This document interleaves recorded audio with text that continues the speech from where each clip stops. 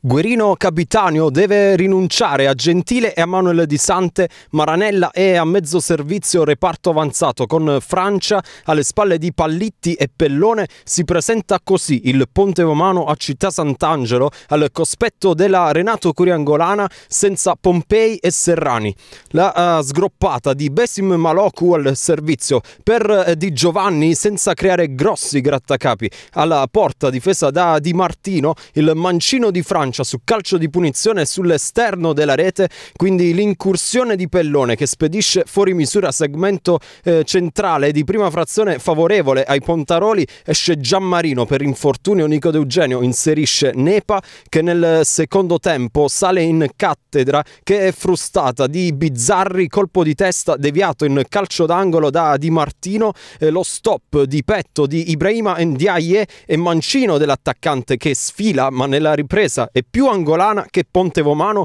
calcio di rigore decretato per atterramento di Francia ai danni di Ndiaye per Serani della sezione dell'Aquila e calcio di rigore molto contestato a dire il vero, si presenta il numero 10 dal dischetto che spiazza Di Martino per il vantaggio giallo-blu. Ndiaye che avrebbe anche l'occasione per il raddoppio immediato ma fallisce la sortita offensiva e poi reclama per un altro intervento falloso in area, stavolta penalty non accordato. Sempre lui incontenibile quando si aprono gli spazi, ma che errore a tu per tu con Di Martino, vittoria pesante per Nico De Eugenio Pontevomano che allo stadio Leonardo Petruzzi soncombe di misura finisce 1-0. Allora, con Nico De Eugenio complimenti per la vittoria, eh, anche se ci sono state diverse proteste per quel calcio di rigore, ti chiedo la tua ovviamente. Queste cose lascio giudicare agli altri, non è che mi interessa più di tanto. Siamo contenti, abbiamo fatto la partita che dovevamo fare, esteticamente forse una delle più brutte,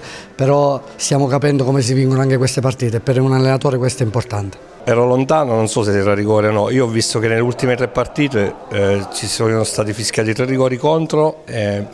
vi invito a rivederli. Oggi Bizzarri è, sta, è stato 90 minuti a rompere le palle all'arbitro, non è stato nemmeno ammonito, ha arbitrato la partita e questo non va bene. E questo non va bene.